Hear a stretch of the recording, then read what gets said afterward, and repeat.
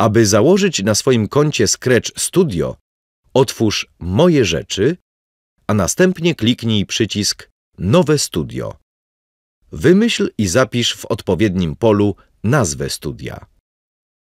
Możesz dodać do studia wybrane projekty. Mogą to być na przykład Twoje udostępnione prace lub prace innych użytkowników.